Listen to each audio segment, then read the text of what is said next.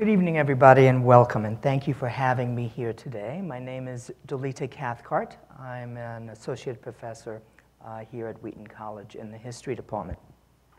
The title of my talk tonight is Collateral Damage, the Effects of Racism on White America. But before we start, I have a question. How many of you here today have heard of the term intersectionality? Good, good number of you. Uh, how many of you, you know what it means? Eh, kind of, most of you. Okay, good.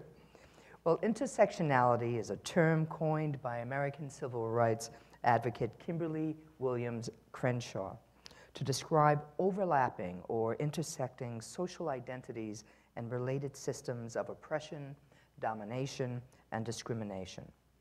The idea is not a new one. Black feminist scholar Bell Hooks recognizing the racism of the nation's various women's rights movements, wrote, quote, Every women's movement in America from its earliest origin to the present day has been built on a racist foundation, a fact which in no way invalidates feminism as a political ideology. The racial apartheid social structure that characterized 19th and 20th century American life was mirrored in the women's rights movement. The first white women's rights advocates were never seeking social equality for all women. They were seeking social equality for white women. The marginalization of black women in the women's movement by their white sisters resulted in the development of black feminist theory, which is what intersectionality was called back in the later 20th century. Essentially, one cannot look singularly at skin color, prejudice, gender, or class issues. In the United States, skin color prejudice, gender, and class are intertwined. They intersect with one another. Black feminists of the later 20th century recognized one cannot speak of gender, for example, without also speaking about skin color and class. These issues have to be examined together to be fully understood because we are all interconnected whether you live in a gated community or never interact with a person different from yourself. What happens to one has an effect on all others, a sort of social chaos theory of interconnectedness. Now, today we will examine this intersection of skin color, class, and gender and discuss how these issues have contributed to the opioid crisis in white America. I will begin with a quick summary of relevant African American history, move to the war on drugs and mass incarceration, and then end with how these issues together has resulted in the opioid crisis.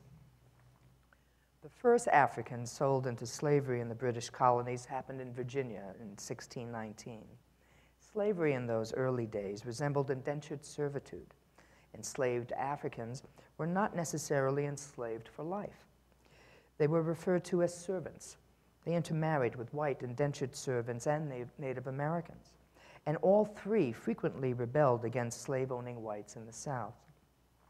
The result of these rebellions was a stiffening of what were called black codes, laws whose primary purpose was the control of African descent persons, free and enslaved, the ending of white indentured servitude, and the killing and or removal of Native Americans. By the mid 1700s, slavery as we know it today was in place. For example, whites uh, changed the tradition of having a child follow the father's condition because it meant that when a white man raped a black woman, their child would be free. That did not make good financial sense and also would result in a free mixed heritage population whose rights should be that of whites at the time, regardless of their skin color. So they changed the rules and the child was to follow now the mother's condition. This made it possible for slave owning whites to naturally increase their enslaved population through rape, because their brown children would now be slaves for life. During slavery, the local police and deputized uh, civilians arrested and kidnapped African Americans throughout the nation, both those who escaped their bondage as well as those who were free and re-enslave them both in the South. The use of police forces to control black and brown people begins during slavery and continues to this day. The police do not make the laws or policies. They just carry out the preferences of the wealthy and the powerful, those who do make the laws. The enslavement of Africans and African Americans was a boon to those wealthy enough to own people and a psychological boost to those too poor to buy a person. The growing economic inequities among different economic classes of whites required giving something to poor whites, and that something was the idea of whiteness. Servant, serf, or peasant, none of that mattered in the new nation because these Americans might be poor. Their white skin color, though, elevated them above those of a darker hue. In other words, at least in the United States, poor whites would not be at the bottom of the political, social, and economic ladder. This psychological boost was important because poor whites did not get much more. Prior to slavery being abolished in the northern states, only those whites who owned property could vote.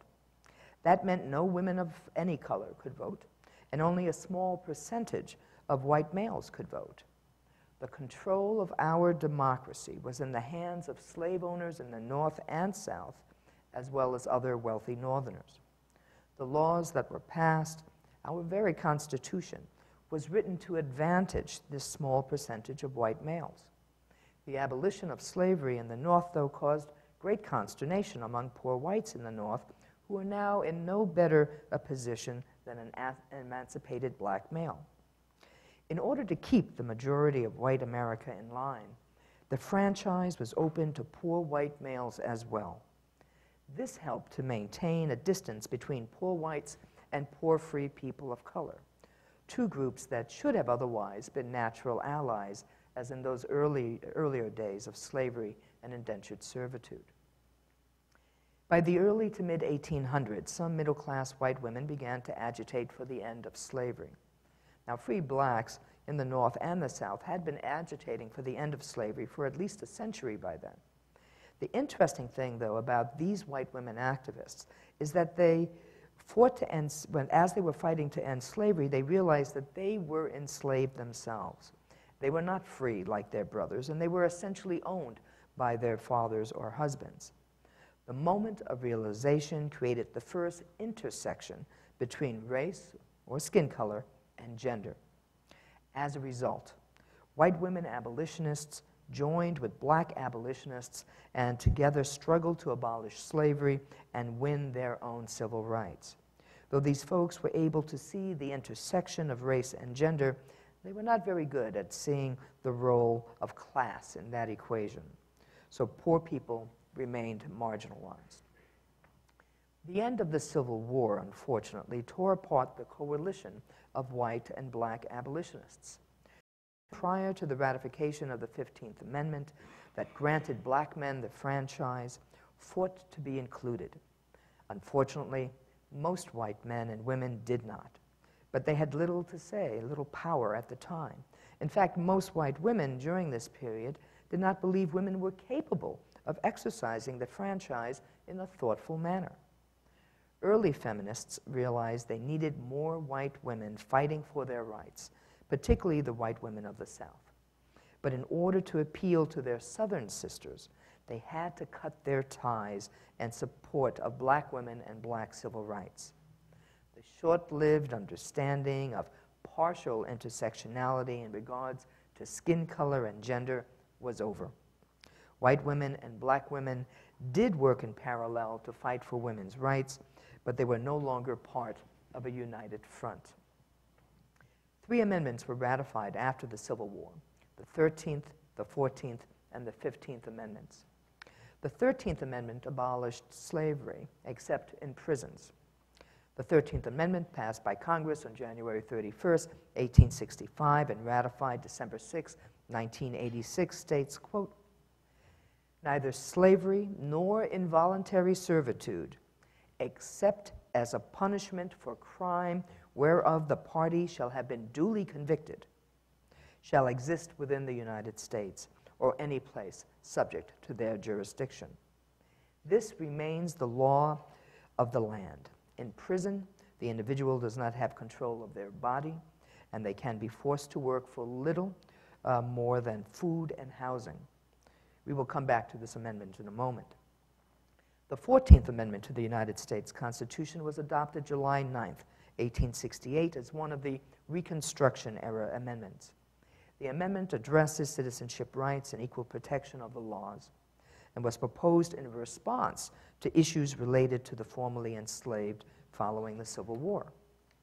The 15th Amendment was ratified in 1870 and contained two sections.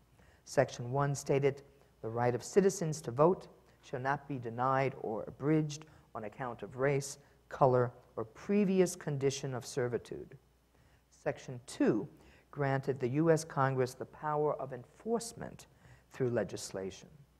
But the only citizens were male. Women didn't really become citizens until around 1920, with the ratification of the 19th Amendment. Prior to that, women could lose their citizenship if their husband were not a citizen and deported for some reason, like for being a Chinese national. She would be deported as well. Her condition followed that of her husband. Okay, so back to the 13th Amendment. Prior to the ratification of the 13th Amendment, the Reconstruction of the South was left to Southerners, and the Southerners in control were the former slaveholders who were looking for a way to regain their property. So, for the first two years after slavery, the South reinitiated re, uh, a type of slavery. They called it uh, an apprenticeship, but where the apprentice would be an apprentice for life. To make matters worse, the 13th Amendment also gave these former slave owners a way to regain their property through the prison system. As a result, black codes were passed that essentially made it illegal to be black. Now, what do I mean by this? That newly freed African Americans who did not have jobs or homes, and in some cases even clothing, because their former slave owners claimed the clothing belonged to them, could be arrested and forced into the convict lease system, which still exists in parts of the South today. Prisoners were leased to landowners, factory owners, and mine owners for example, and forced to work under horrendous conditions, often worse than slavery. At least during the slave era, most owners did not want to totally incapacitate their human property or kill them. But these prisoners did not even have that protection. They could be killed with impunity, or starved and beaten, or just disappeared. The prison industrial complex became the new plantation, and though it focused on African Americans, particularly African American males, poor whites were also caught up into this system. The major difference was that a black person did not need to actually commit a crime. If more workers were needed, more blacks would be arrested, convicted of vagrancy, and serve a long sentence as a convict in the convict lease system. Now, throughout the rest of the 19th century, the former slaveholders and their sons controlled the South politically, socially, and economically. They also controlled national politics in Washington as well. They continued to pass black codes, but, uh, which were later called, of course, Jim Crow, in order to exert control over black Americans. But many of these laws also affected poor whites as well. But those poor whites still had white skin privilege, even if that privilege did not add much money to their pockets. Jim Crow legislation controlled the public lives of black Americans in every possible way. I'm sure you're all aware of the separate water fountains or blacks required to sit at the back of buses or in Negro railroad cars. But so much more was controlled. Blacks and whites could not play checkers together or be buried in the same cemeteries. Blacks could not try on clothing in stores go to public parks or pools, eat in restaurants, etc., etc., etc. At every moment of the day, they were treated like second class citizens, and that was only on the good days. African Americans fought this discrimination from the beginning with little success. The NAACP's legal team in the early 20th century did have some success, but if the laws were not being enforced, then their legal successes meant little. Larger changes did come in the 1950s. In 1954, the NAACP won the Brown v. Board of Education uh, Topeka, Kansas case that found that the separate but equal segregation policies in schools were unconstitutional. But little change occurred. But after the brutal lynching of 14 year old Emmett Till in Mississippi in August of 1955, things began to heat up. Even though the murderers confessed their crime, they were acquitted by an all white jury. And just recently, really just a couple of months ago, the widow of one of the murderers confessed that she had lied to the police. In any case, a few months later, Rosa Parks refused to give up her seat on a bus to a white man and was arrested. That arrest sparked the Montgomery bus boycott, which lasted about a year and was successful, desegregated the bus line. Two years later, Little Rock happened. All of this activity helped to galvanize activists and students, which led to the sit in movements of the 1960s. Change, though, was slow and incremental, more dramatic perhaps in the South, but it made little to no difference in the lives of black Americans everywhere else in the nation. So the cities erupted, white support began to wane, the draft for the Vietnam War uh, threatened uh, the lives of middle class white males, causing even less support of the civil rights movement. And of course, King was assassinated. LBJ then drops out of the presidential race because of the war, and Nixon promising law and order and using what is called the Southern Strategy appealed to the frightened and racist alike and won the presidency in 1968.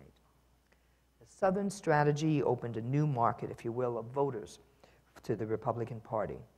Working class white males and females, also known as lunch pail Republicans. The white men had to now compete with all women and men of color for jobs because of programs created to mitigate sexism and racism, namely affirmative action. Their identity was further threatened as more women began to join the women's liberation movement and as more people of color were able to attend college and enter the job market. What good is masculinity in white skin if it no longer afforded an advantage or control over women's bodies and people of color? Republicans realized the Southern strategy worked, and they continued to use it uh, to link racists and misogynists to the party to this day. Their Big Tent approach included the Christian right, anti choice activists, heterosexists, and more.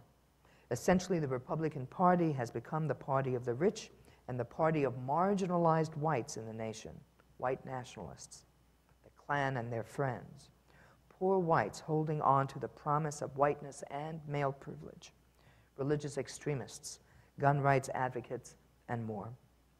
These are not necessarily bad people, but they are often people whose focus on their singular issues and fears blinds them to everything else that is happening, including to their own self interest.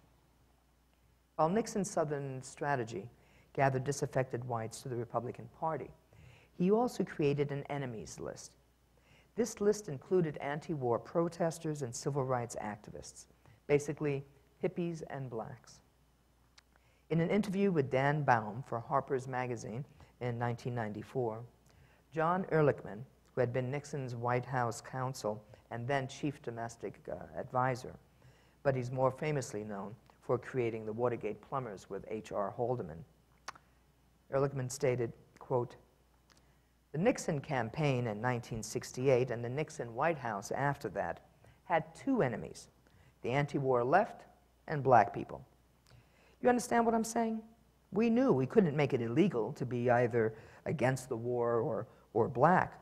But by getting the public to associate the hippies with marijuana and blacks with heroin, and then criminalizing both heavily, we could disrupt those communities.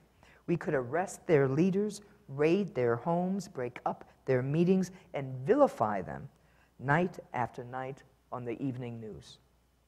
Did we know we were lying about the drugs? Of course we did. But the mass incarceration of African Americans really began under Ronald Reagan. In 1980, 0.2% of the population was incarcerated. By 2008, it was 0.8% of the population in prison. Reagan, who also used the Southern strategy, essentially characterized drug users and people on public assistance as black. So poverty and drugs became a black problem, even though there were considerably more whites on public assistance and the majority of drug users were white. According to the conservative FBI, 75% of all drug users are white. But the police focus on poor communities and communities of color, those with the least amount of power. Also, some drugs are seen as white drugs and others as black drugs. Powder cocaine, for example, is a white drug, the drug of choice of Wall Street. And crack cocaine is a black drug, a drug for the poor. The result of these skin color coded drugs was a sentencing disparity between the possession of crack cocaine and the trafficking of powder cocaine, a 100 to 1 sentencing disparity. A person caught possessing five grams of crack cocaine received the exact same prison sentence of someone caught trafficking 500 grams of powder cocaine, and the same prison sentence of someone convicted of a violent crime. Drug offenses also had collateral consequences that other offenses did not carry. For example, once convicted of a drug offense, the ex offender is denied public benefits, public housing, licenses, and more, making it nearly impossible for the ex offender to go straight after prison. No job, no home, no car, and if drug addiction was a problem, no help either. We could spend weeks just discussing this issue, but the bottom line is that there were about 500,000 people in prison in 1980, and by 2008, there were 2.3 million people in prison. This dramatic increase in the number of prisoners also meant more prisons were needed to be built. The right turned to the private sector, privatized prisons, and made it a multi billion dollar industry. As you can imagine, this flow of public dollars to private prisons is a boon to prison industrialists. And you can also imagine who they support politically those who want to keep those prisons open and full. Now, every generation is faced with wars to contend with or to clean up after, and with racism, sexism, classism, anti Semitism, and heterosexism. The roller coaster struggles to do away with all forms of hate had its better times and its worst. We are now in the worst of times, a conservative backlash of historic proportions, a white nationalist revolution that denies science, facts, and reality, an error that essentially purports that all women and all people of color are worth less than straight, able bodied Christian white men. These beliefs have existed for a very long time. Our democracy is a continual work in progress. And we have struggled with these social constructs of power and myths of superiority even before we were a democracy. So it shouldn't come as a surprise to anyone that social progress in the United States is always followed by a backlash by those who believe that equality diminishes them in some fundamental way. After all, you can't be superior if everyone is equal. So after the civil rights movement, the nation voted for law and order and the war on drugs. Both were direct attacks on black America, a way to continue to, to control a group of people who dare to be free and equal Americans. Now, certainly there are many who delight in the chaos. We are witnessing the dismantling of the American state and its ideals and the struggle to save it. It's, uh, it's quite a mess, and we are just past the first year of a conservative dream come true that is our collective national nightmare. But difficult as it may be, we all need to understand the vote for our comrade president, a backlash to the two term presidency of Barack Obama. Understanding does not mean we cease to struggle to protect our democracy, but that we more fully understand how and why we are at this point in our national development and what exactly many of us are resisting. The continuing downward economic trajectory of blue collar white America in the post industrial era has made it clear that working class white Americans are no longer receiving a wage real or psychological, for their whiteness, as first promised through the U.S. Constitution. This broken promise of white male supremacy, once supported by slavery and the second class citizenship of white women, coupled with continuing racism, sexism, the Great Recession, the loss of jobs and homes, the lack of good paying jobs for whites without college degrees, and the near destruction of unions since the Reagan era has had dire results. Too many whites are once again turning to white nationalism in the hope that a racist, sexist, anti Semitic, and heteronormative ideology will rescue their white skinned male privilege in a post industrial world and return them to their delusion of supremacy. Now, nationalism is a middling stage for ethnic or skin color identity development. To some extent, it can be considered a type of consciousness raising, raising stage for those who feel aggrieved for one reason or the other. But there is a problem with white nationalism in comparison to other ethnic or skin color identity models. White nationalism is based on not recognizing what we all share. Instead, it rests on the myth of white skin color superiority and the demonization of the other African Americans, non Christians, all women, and other people of color. For these other groups that do not self identify as superior to all others, the identity development stage that follows nationalism is the recognition that others share many of the same challenges and obstacles to full equality. Instead of demonizing the other, these groups seek to form diverse coalitions in this next stage. But this is not the case with white nationalism. The next stage for white nationalists is fascism and their attempt to make permanent their position of social, political, and economic superiority over those with a different skin color, gender, or religious tradition. White nationalists may have won the recent election, but white skin privilege will not trump automation or reverse the loss of better paying blue collar jobs to technology and robots. As long as white nationalists continue to rest their hopes of redemption on white skin privilege, they will remain stuck in an ideology that can no longer privilege them over others in this post industrial era that is bedeviling all Western nations. When they do finally wake up to the reality of their situation and recognize that their true allies are the very people their grandfathers lynched in the past, the rest of America must be prepared to welcome them back into the fold. We have to work together to resist fascism and protect our democracy, as imperfect as it may be. Many of these desperate people can be redeemed, and we need all of the allies we can muster to protect the nation, all of her citizens, and the environment we all share. Now, the Reverend Martin Niemöller was born in Lippstadt, Germany in 1892. Niemöller, who became a leader of a group of German clergymen opposed to Hitler, was arrested in 1937 and sent to Sachsenhausen and Dachau. He was later rescued by the Allies in 1945.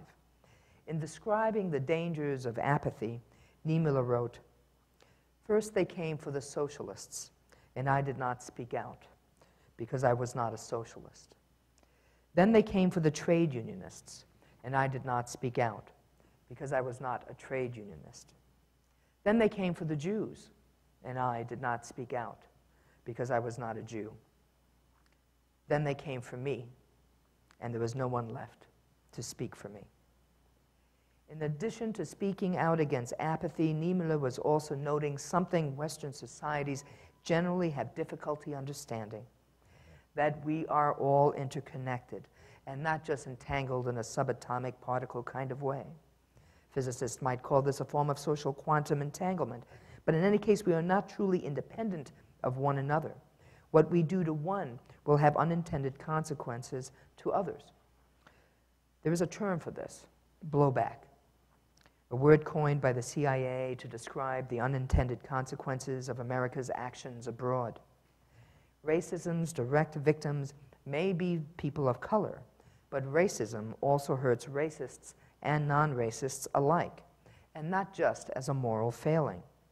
For example, In various studies conducted uh, since the 1990s, researchers have shown that many white medical uh, students, residents, and doctors believe blacks have a higher threshold for pain than whites, among many other false and bizarre beliefs. As a result, doctors prescribe fewer painkillers to black patients than whites suffering from the same illnesses. In one study out of Emory University in 2000, 74% of white patients received pain medications, but only 50% of blacks. In 2015, another paper noted that black children with appendicitis were three times less likely to receive pain medication than white children with appendicitis. Other studies have shown that black cancer patients were also three times uh, more likely to be under medicated for their pain than white cancer patients. So it's easy to see how skin color bias affects people of color, specifically black Americans. But what is this blowback onto white America? The opioid crisis. While pain medications were kept from many black patients, whites were being overprescribed.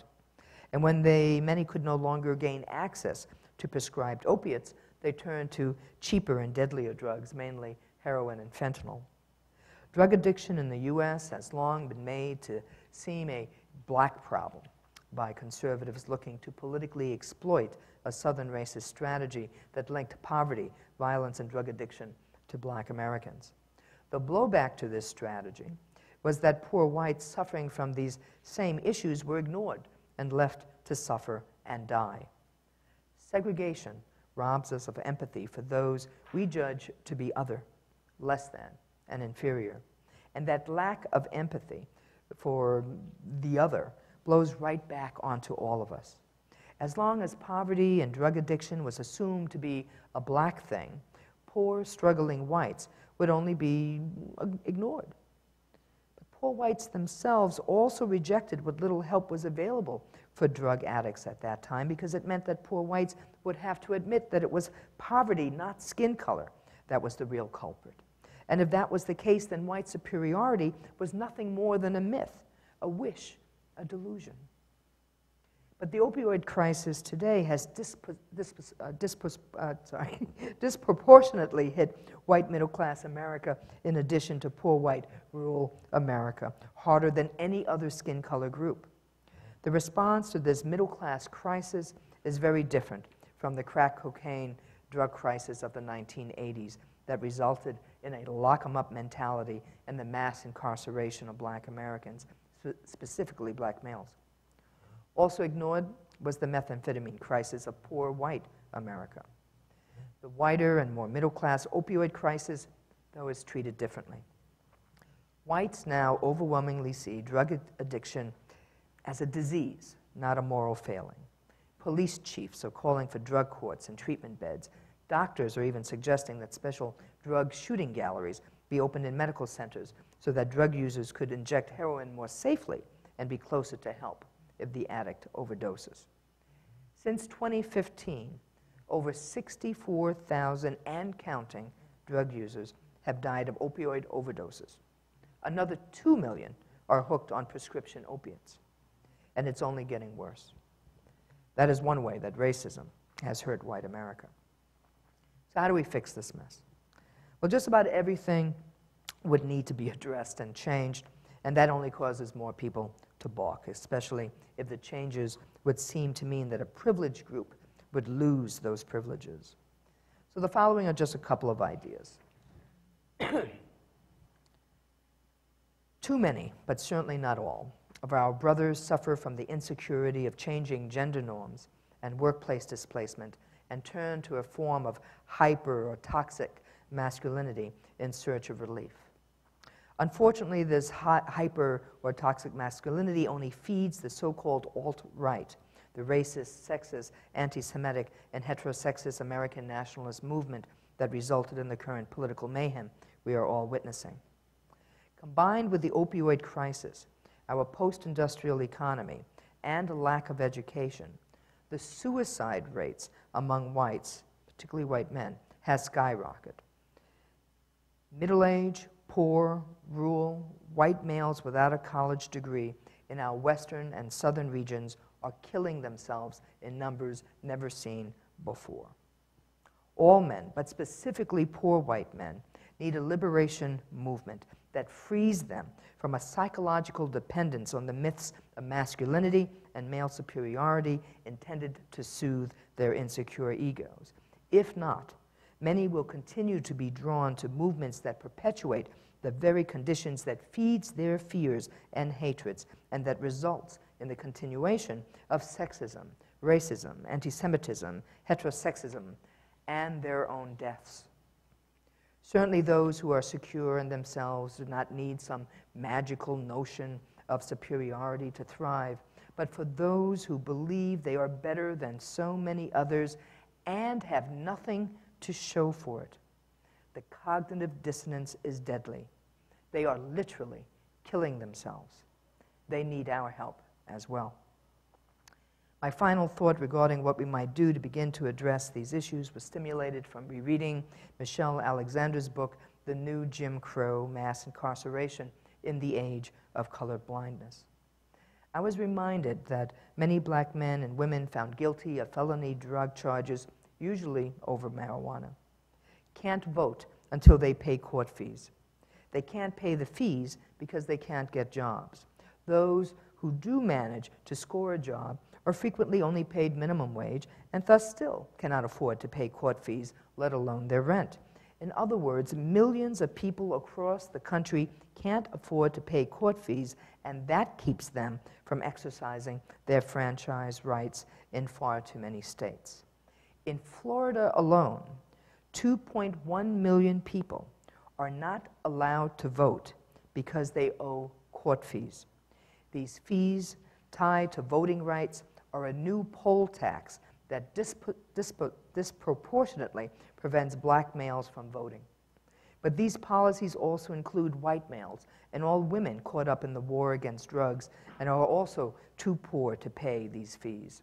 So we need a campaign or a movement to raise money and to use the money to pay court fees that keep millions of nonviolent ex-convicts who were overwhelmingly arrested for the possession of marijuana from being able to vote. So adopt a state. Start with Florida. Search what is going on regarding this issue in that state, and if you can, contribute to end this travesty. There are thousands of things we can do to resist the further entrenchment of American fascism. But most importantly, we must stay optimistic and resilient. Like our sisters and brothers before us who struggled against slavery, Jim Crow, sexism, anti Semitism, heterosexism, all racisms, classism, war, nuclear weapons, and more, we must believe in this struggle, believe in its very righteousness to free us all. You are all already well armed to take up this struggle or to continue to struggle for full equality. You know how to find facts, you already know how to research what you don't know, but lead with respect. You're not going to win anyone over to your truths through insults and name calling. Reach across the aisle. Understand that the long joked about robot apocalypse is very real for blue collar workers in a post industrial world. Their pain is real and spreading to other job categories and will affect more workers throughout the United States and Europe with every passing year and with each new technology. No one is truly addressing their very real pain beyond a rhetoric of division. Don't feed that division. Be better, be smarter, and let us all try to think and act our way out of this box through thoughtful and unrelenting action. You know what works and what does not.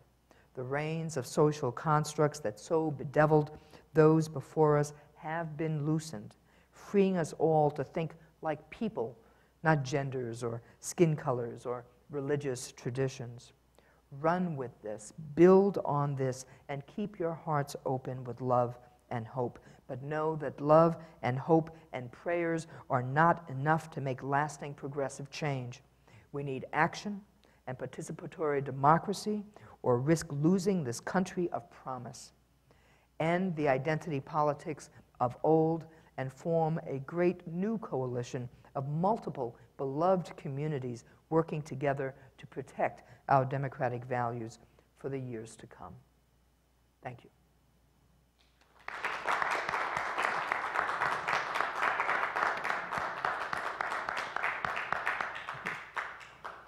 Okay, so I think this is the, uh, the point in which if there are questions online or uh, in the audience, I'm more than happy to uh, try to address those questions.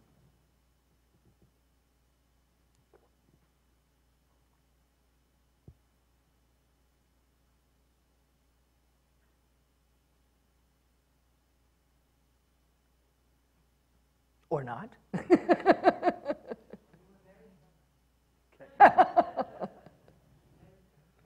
Excuse me.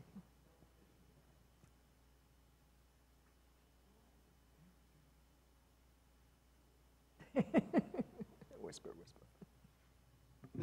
Hello, Professor. Hi Kafka. there. it's good to see you. Um, so something that I was wondering in terms of just um, the way that you encourage um, reaching across division lines and the um, language specifically in your lecture, could this be misconstrued almost as kind of an elevation of whiteness in helping white people understand their full potential? Could that be misconstrued in a negative light? Certainly, right? Uh, certainly anything I, I think is possible. Um, you know, might someone take this information and decide that this is the new rallying call for the Klan or, you know, their, their friends or so, uh, and create uh, some strange new civil rights, uh, you know, movement uh, out of that. Um, but I think certainly what I'm hoping uh, that comes out of th- this work is that all of us have to understand that everything we do has a ripple effect. Right? May affect just our friends or our families. Um, something as simple as plagiarizing a, a, paper, you know, in college means, oh, now the professor has to get in action and, and get the, the board together, and there's now going to be a, you know, a trial, if you, if you will, ripple effects. And nobody is happy doing, you know, those sorts, uh, those sorts of things if we can begin to understand how interconnected you know, we are, then maybe we can begin to release right, these ideas that have been uh, essentially forced upon us right, for, for generations uh, now regarding what does it mean to be a woman? What does it mean to be mm, Hispanic or or black or poor or wealthy, right? All of these stereotypes that we have in our head that affect how we act on a day to day basis and how we treat one another as well. It's really easy, particularly for the marginalized, to kind of demonize white America as the reason why everything is you know, not going so, uh, so well. Um, but if we don't understand that there are real and lasting effects that also reverberate or, or blow back onto white America that is killing them. Mortality rate has been increasing in the United States. The age in which uh, you know, most men die has now decreased for the first time. Uh, and, and why? Because of the number of suicides of, of you know, poor, white, non-college educated uh, uh men in, in, in basically in our red states. Uh, their states are not taking care of them. Right? The politicians are only trying to keep the division uh, going.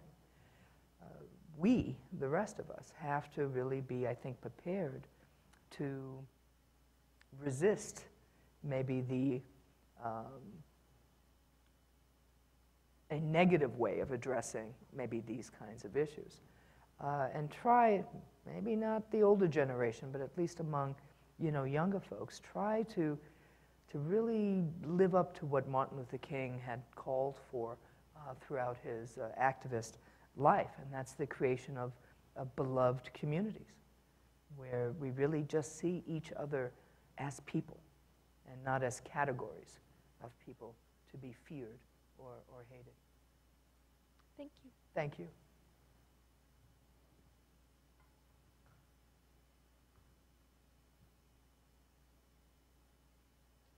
At this time, we don't have any questions, but Virginia Beard, who is watching. Oh, I'm sorry. Go right ahead. We have a question in the audience. Okay. Um, Yeah, I I was interested in your thoughts on uh, how history is taught in America and how some history has been separated out into African-American history and is not taught. And, and how the role, how that has played a role and, and how it should be brought back together because I see a lot of misinformation when people talk about losing our history by taking down Confederate statues or even which generals have statues and which generals don't have statues. Uh, so I'm, I'm curious on your thoughts. Sure. Well, I think history is, um, particularly, you know, K through 12, is horribly taught in this country. I mean, just about everybody who comes to college comes to college hoping that they never have to take a history course ever because it was such a horrible experience in, in, in high school. Uh, most students, though, once they take a history course in college, are, wow, this is history. Uh, you know, it's far more interesting than what uh, they had encountered uh, earlier uh, in, in their life. Now, most of the way history had been taught in the, in the United States, at least American history, has been taught in the, in the United States for most of our history, uh, was really excluding marginal, you know, those on the margins. There was no women's history being taught, certainly no history about African Americans or Native Americans or uh, people of, uh, of uh, Latin backgrounds. Uh, it was the history of presidents and kings and, and generals, who won the war, who, who created the, the country without really taking into account all the folks who, who, would, built those, the, the, the country. Should it be taught, like I teach a lot of African American uh, history courses here, should it be taught differently, all integrated uh, together? Uh, I kind of try to do that when, when I teach, so it's, it's, it's not just looking through things uh, and through one lens. So uh, I try to talk about all Americans, white Americans, black Americans, Native Americans, uh, women, poor people, rich people, try to, you know, weave it in. Part of the problem, though, is that if we were really trying to teach an integrated history, we'd probably have to do it in 10 year intervals, you know, because there's so much going on. You take any period of time and, you know, you look left, you look right, all, all the way around that there is rich history going on. What do you include? What, what don't you include? So I hear what you're saying, and I think you're quite right that as long as we continue to have our history separate from one another, it's very difficult for uh, young people, for, for members of this country, to really see it as, as integrated, right, as requiring um, sort of the connection, right, of, of, of all of us. Uh, but I think what tends to happen is that you have to figure out, well, I'm teaching an American history course from time X to time, you know, Y. Uh, is it going to be looking at it from through a women's lens? Is it going to be looking at it through uh, a, uh, a black lens? What lens are we, you know, using to, to, to look at that? And that I think has to do more with um, pragmatics at, at this point. It's the only way to try to cover that much history in a short period of time so that you end up splitting it. I think most historians who are worth their salt try to, you know, ensure that uh, the context is as rich as possible, even if you're looking at uh, just a sliver of, of that history. Um, I have a question from Makia Moody, uh, class of 2000, who's also alumni board of trustees. Makia asks if you could elaborate on the point that the Republican Party is that of white nationalists. I gather that there are Democrats who are white nationalists also, but perhaps I misunderstood your point. No, you're absolutely, and, and hi, Makia, it's nice to, uh, glad you're watching. Uh, you're quite right. There are uh, white nationalists who are Republicans, Democrats, communists, probably, uh, independents. Um, it, it doesn't really maybe matter overall which political party uh, folks are from. But it's, it's been the Republican Party, uh, you know, in this country that has appealed directly to these folks, um, really since the Dixiecrats split from the Democratic Party. Those were those uh, Democrats in the South who were not exactly um, in line with how the Democratic Party was moving uh, in the North, uh, for example. Uh, so those folks ended up leaving the Democratic uh, Party and becoming Republicans. From that point on, particularly in the South, appealing to kind of racists, um, members of the Klan, uh, who would later become basically white nationalists. That was how they got their votes, trying to kind of maintain uh, those uh, individuals under their uh, big tent. Uh, they were not going to join the Democratic Party at that point, uh, not, not the one that sort of developed out of the 1940s and 50s. Um, they pretty much were uh, connected to and continue to be connected to the Republican Party. Now, now, certainly, there were many Democrats, for example, who voted uh, for Nixon uh, in 1968 and again in 1972. Uh, these conservative uh, Democrats, uh, some who would later change their party, and others who may have maintained their party uh, affiliation. So Makia is quite right. We don't want to assume that the, the only naughty people, you know, in our country are, are Republicans. They come in every, you know, possible uh, political uh, ideology. Um, but as far as the two-party system uh, is concerned, the appeal of uh, racism and sexism and, and homophobia uh, and classism, uh, that appeal is really being sent out by the Republican Party these days. Excellent. I, I have another question from Carrie Hicks, parent 2019. She asked, do you think public education, or lack thereof, has had an impact on this as well? If so, how? More specifically, underfunding black schools ensures that white people will be more qualified for colleges or jobs. Yes. That's a real easy one. Uh, yes. Um, I think there's a major lawsuit uh, to be had, a class action lawsuit, in just about every city, township in, the, in this country, uh, suing their states, their municipalities for the failure to adequately fund and educate um, Americans, really of all uh, skin colors. Uh, it certainly has a major impact uh, in uh, larger cities where uh, most of the public school kids tend to be kids of color. But it's in Ohio, it's in Nebraska, uh, it's in coal mining, you know, towns. Uh, wherever there's poverty, there's a poverty in, in, in education. Um, there are many, particularly in the red states, many teachers who are, are barely college graduates themselves, who have not been trained uh, to be teachers, who are not certified uh, to teach uh, uh their young people. Uh, and this is going to have an incredible effect on uh, children, regardless of their skin color. Um, so, yes, money does help propel one group towards college, and not only towards college, but able to pay you know, for college as well and, and not be saddled with uh, a major debt. Um, but this is really a, um, a, problem of all poor people. And uh, there are, in sheer numbers, more poor white people in this country than there are poor people uh, of color. So, uh, yes, our, I can't say caller, yes, our interneter uh, is, is correct, but I, I would add the, the larger class dimension uh, to this. Thank you.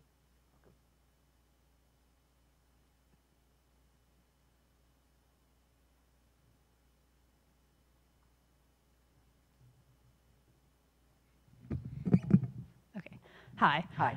Um, sort of returning back to what you mentioned about needing a white liberation movement. So, thinking about those kinds of mass movements as starting on kind of a grassroots level, how would you suggest that, say, an ally like myself or um, others could start to approach talking about this, you know, in college classrooms, in coffee shops, or anything like that? How do you think we could kind of start sort of where the grassroots thing needs to happen? You got it.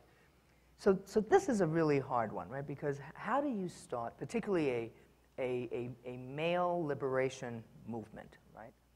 Um, that doesn't turn into the Promise Keepers or, you know, Robert Bly poetry slam, you know, with folks, men dressed as uh, Native Americans and holding talking sticks, you know, and the like. How do you really create a movement that is like the feminist movement, one that is meant to free men and women from these gendered constructs, right, that, that we all have been uh, damaged uh, with.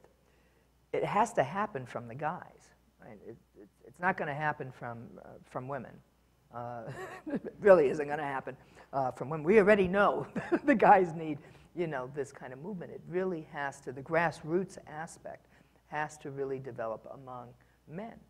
They have to see the toxic nature of what this um, idea of masculinity as it has been created in this country um, has done to them. And, you know, as long as it looks like, well, I'm more likely to get a job, and if I get a job, I'm more likely to get, you know, more uh, money than, than a woman or a person of color, this looks pretty good to me. I mean, it's not fair or anything like that, but, uh, you know, who's, who's going to throw away a privilege in, in that respect, right? It, it, it sounds crazy. What they have to see are all the negative effects of that kind of mindset. Um, and that's sometimes a little bit more difficult to, you know, to uncover. Uh, it's going to be different depending on where you are in the country, what economic class, you know, you, you belong to. Are you married? Are you single? With children? Without children? College? No college? All of those are going to affect to some degree, um, you know, what kind of problems or issues you might face.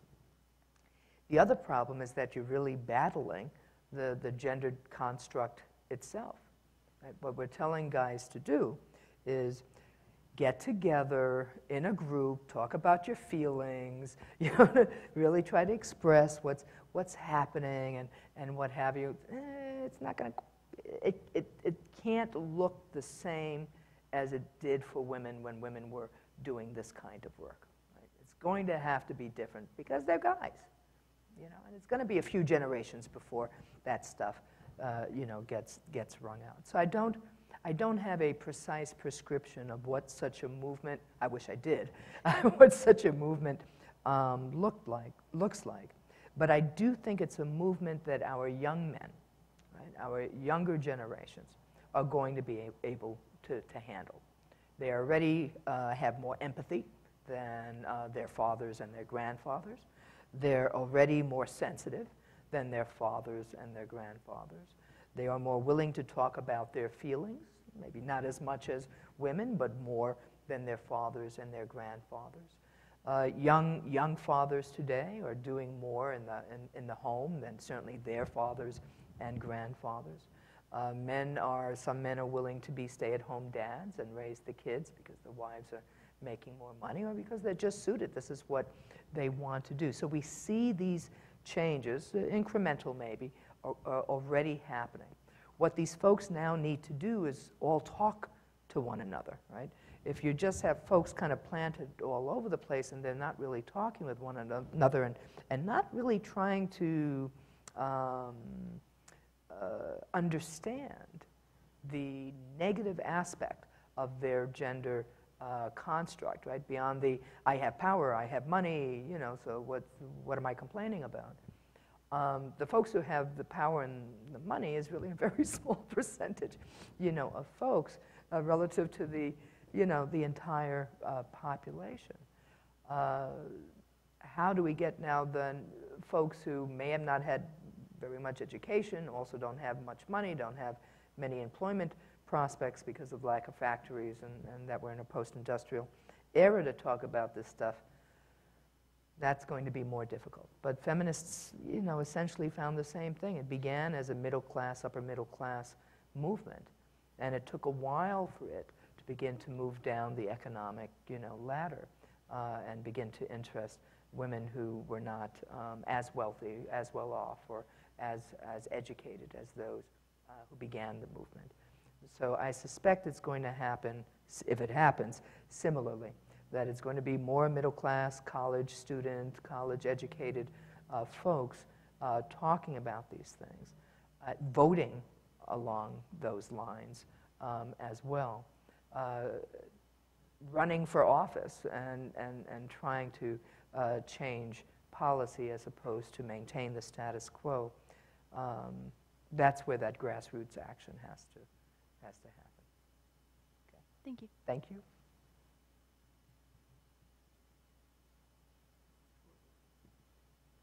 Following up on that, on that answer, I mean, isn't it a question of bravery as well? Say that, I mean, say that again. Isn't it a question of bravery as well? Absolutely. I mean, a lot of the white nationalist movement is about, you know, I've got to protect this, uh, they're taking away that. Um, and, you know, when you look back in history, there's examples of, of, of white men that were very brave, that were fighting against the grain, whether the gentleman who wrote um, Black Like Me, um, uh, Colonel Lewis Merrill, um, Bonhoeffer in Germany.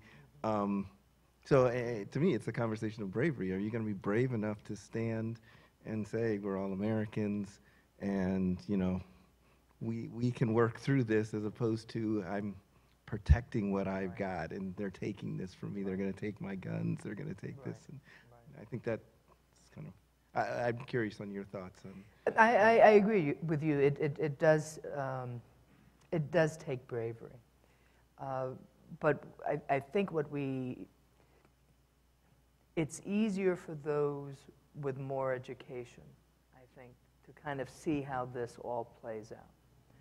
For those who are the product of, of poor schools, underfunded schools, um, teachers uh, without uh, maybe much training, uh, who've only ever expected to work at the same factory dad or mom worked, you know, in and like to ride their uh, ATVs and shoot off guns and, you know, things along that line. I mean, th- this is what a lot of people do in, in rural America. And it's fun for them. You know, drive around on those little wheel things, you know, whatever they're, they're called, and um, shooting small furry, you know, animals. Um, this, this is how folks get pleasure. And to infer that, well, that's not such a good idea, you really should be a more sensitive guy, and maybe you shouldn't beat your girlfriend up too much, and what, they've been resisting that kind of talk for a very, very long time. So I hear you, I agree with you, I, we have to start somewhere, and I think the likely place for, for it to begin is among the middle class and, and the more educated. Um, not alone, there are, there are plenty of folks who uh, aren't wealthy and, and may not have a college education who uh, would be interested in this. But I, I think the conversation sort of begins there. And then men talking to, you know, to other men uh, begin to figure out how they can reach out to their um, poorer brothers uh, and their less educated brothers and try to you know, offer them a hand into seeing the world in a slightly different way. You know, I think women can, can certainly be supportive. Um, we can certainly make uh, um, uh, suggestions. Uh, the whole history of the feminist movement, women's movement, um, would be uh, a good place to start for, for men interested in this. But ultimately, this is going to have to be men talking uh, to men, men who understand what it means to be a man. It's not easy to be a man in this uh, country with all the power that men may have. Uh, it, it's a rather stressful uh, position. You have to be strong. You have to, right? You have to, uh, you know, behave in a certain way, look a certain way. I mean, it's not just uh, women who are um, struggling with what it means to be a woman in this society, how thin, how tall, how blonde, how brunette, or, or so. Men are suffering from the same issues. You know, do they have a six pack? Do they, their guns really, you know, uh, AR-15s or just little pop guns? You know, I mean, how? that was my joke. you know, how uh, how they look is beginning to affect men in our society over the last uh, 10 to to 15 uh, years, and um, you know, like anything, it, it can't be uh, im- imposed upon them from somebody else. It has to happen within, uh, within the group. within men themselves. Um, Bravery is good, but when people are scared, it's very hard, as we know, right, to be brave. Most people run away. Very few run towards the danger or run, run towards the fear to, to address it or to try to help others. Most run away. How do we get the folks who are running away? It's easy to get the folks who are running to the issue, but how do we reach out to those who, who, who just can't conceive of anything different than what they've been doing all their lives and what their dads and, and granddads have been doing?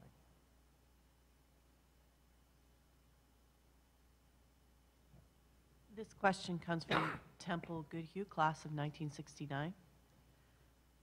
She mentions, in Massachusetts, where do you see the most egregious, Egregious? thank you, sorry, denial of equity? And which groups do you feel are most effective in implementing real change, groups or institutions? Okay. Well, the folks who have the short end of the stick uh, in, in Massachusetts are poor people, number one, right? Regardless of skin color, it's poor people. Uh, disproportionately, it tends to be people of color.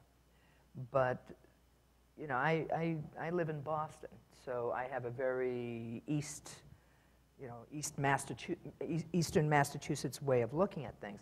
It's all of Western Mass uh, that is not doing uh, very well, and that is predominantly, uh, you know, predominantly white. So a lot really depends on where where your focus is. So do away with the skin color idea for the moment, and just say the poor people in the Commonwealth um, are not getting what they need uh, to progress.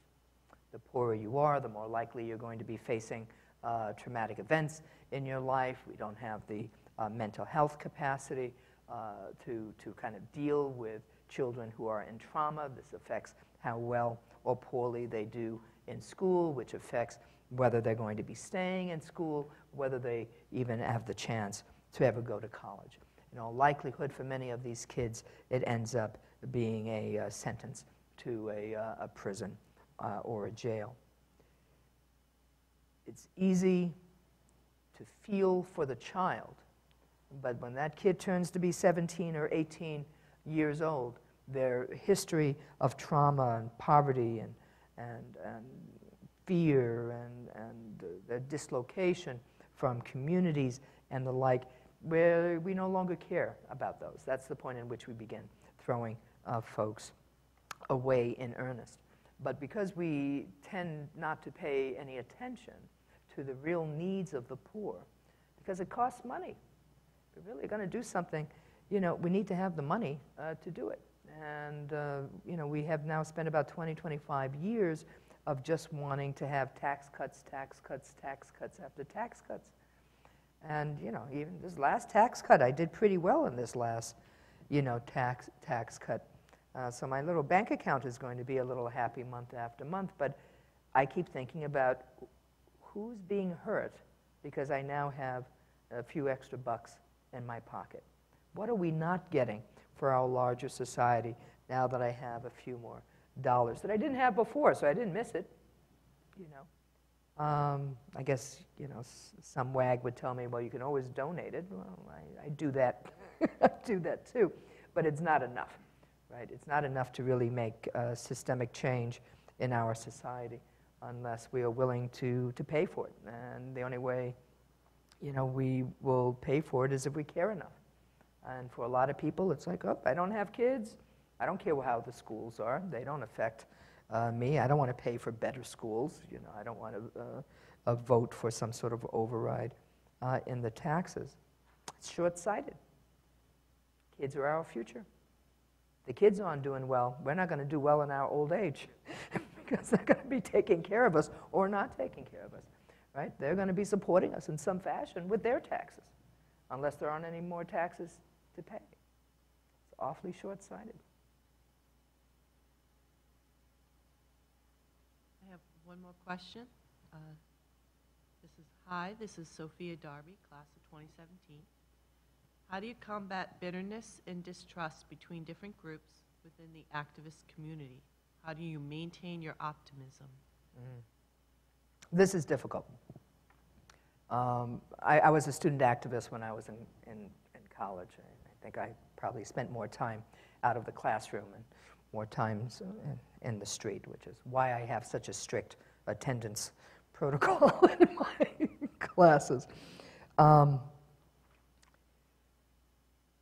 so I, I went to college in the, the, the 70s, and uh, so we were still dealing with many of the same issues that uh, those uh, a bit older, I'm, I'm the end of the baby boom generation, so those, you know, in the earlier baby boom uh, generation had to deal with, but uh, had some benefits from the work that they did. So we had lots of protests going on on campus all the time, and we didn't always agree with one another um, or so, but we were finding that, uh, you know, one group would get maybe 10 people would come out and, and protest, and another group, maybe they got 15, maybe they got uh, five, and no one's paying attention to such a small group of, of protesters. Uh, so we all got together and agreed to support one another. If you had a protest, I'm going to your protest. When I, when I have a protest, you come uh, to my protest. And it made a, a, major difference on, on the college campus in, in, in many ways. We got a um, women's center um, out of it. We had the first Gay and Lesbian Awareness Day in the history, you know, of the, uh, of the college. We uncovered the shenanigans around the housing lottery that was supposed to be random, only to find out it wasn't so random um, at all and involved a great deal of both classism and racism on campus, on where uh, students were being, uh, you know, placed. Um, we're not going to agree on, on every score. But if we're all essentially fighting for the same goal, human rights, right? however imperfectly it may be. Right? Some folks are just going to know more around this stuff. Um, some folks are going to be more doctrinaire than pragmatic. Right? All of that is true. But we're not going to get any place unless we're willing to reach across the aisle. I mean, right now there's you know a lot of struggle uh, between, I think, you know, some of the uh, Black Lives Matter uh, folks and um, more right-wing uh, uh, women, but who think of themselves as feminists, except around uh, the abortion issue and the Me Too movement that started with a black woman, but now seems to be overwhelmingly, you know, white, right? All of these things, and we can just get totally um, wrapped up into why this, isn't, this isn't as perfect as I'd like it to be. But if we're not showing up for each other, uh, one thing is certain no one else is going to show up either. So we only have one another. It's, we have to think of it uh, like a family. You know, your brother might be a pain in the neck, but he's your brother. you know, so you go, you love him, you deal with him, even though he might be a pain in the neck, because you know he thinks you're a pain in the neck um, as well. Uh, we have to think of ourselves as a family, and that maybe together, um, slowly, sometimes in smaller groups, it doesn't always work with larger groups, you begin to talk more about who you are, what your history uh, is, and that bridges an understanding that our segregated um, society uh, prevents on, on a day-to-day basis, right? We're much more segregated today than we were back in the 1950s. And as long as we remain separate in those ways, we don't know each other's stories. And when we don't know each other's stories, we do what every human being does. You, you, you go back to the stereotypes uh, that you were taught um, as a kid because you don't have any other information. And the only way we can break those stereotypes is by embracing one another. And I know it sounds kind of hokey and all of that uh, kind of stuff, but it, it truly is the only way. And that means forgiving one another when we step in it when we make mistakes, when we, when we use the wrong terms, when we, we seem to be a little maybe retrograde in our thinking, that if we jump down the throats of every single person who makes a boo-boo, there's nobody left for us. So we have to be understanding. You know, we, we, we, have, to, we have to look at the long, the long picture here, right? The, the, not, not just what's in front of us, but how long such, such a movement has been going on and how long it'll probably continue to go. Um, I, I, know within my own lifetime I, was not, it was a lot worse when I was a kid around, you know, issues certainly of race, you know, class and, uh, and gender. Things are better in many respects uh, today as well as they are uh, the same. Um, and I think it's only if we are willing to embrace one another and understand one another and forgive one another that we're going to manage to get any place.